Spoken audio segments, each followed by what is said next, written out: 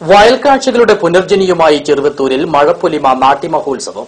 കളിയും കാര്യങ്ങളുമായി ഒരു പകൽ ചേറിൽ മതിമറന്ന് മഴപ്പൊലിമ നാട്ടുകാർ നാളേക്കുള്ള നല്ല പാഠമാക്കി. ചെറുവത്തൂർ പഞ്ചായത്ത് സി ഡി എസിന്റെ നേതൃത്വത്തിൽ പുതിയ കണ്ടം പാടശേഖരത്തിലാണ് മഴപ്പൊലിമ സംഘടിപ്പിച്ചത്.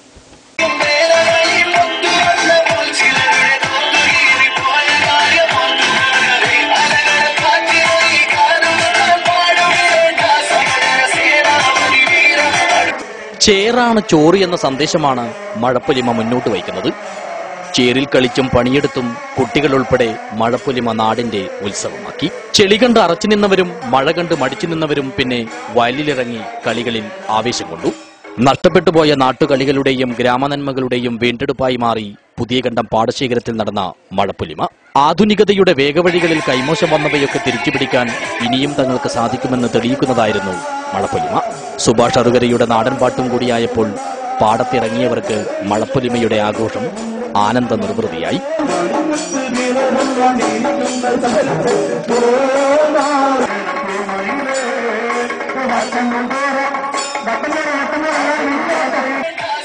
പരിപാടിയിൽ കുട്ടികൾക്കും സ്ത്രീകൾക്കും പുരുഷന്മാർക്കും വേണ്ടി നിരവധി മത്സരങ്ങളാണ് സംഘടിപ്പിച്ചത് മഴ നൃത്തവും കമ്പവലിയും ബലൂൺ പൊട്ടിക്കലുമെല്ലാം മഴപ്പൊലിമയ്ക്ക് കൂടുതൽ പൊലിമയേകി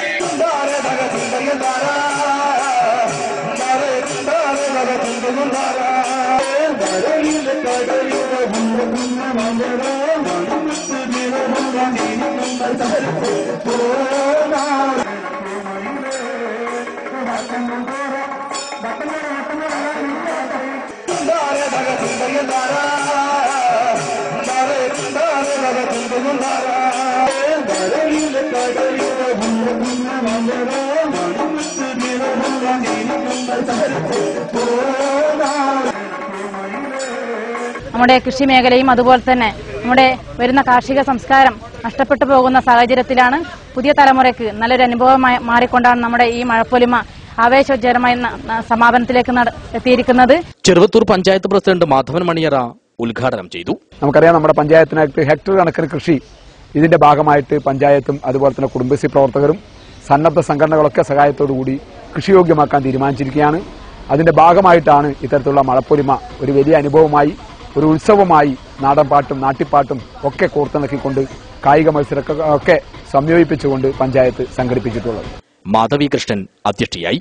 കുടുംബശ്രീ ജില്ലാ mission coordinator T T Surendran C V Prameela K V Kunhiraman K Narayanan P V Jayan M V Jayashree K Rakesh V V Reena P V Nirmala എന്നിവർ സംസാരിച്ചു. News bureau Cheruvathur.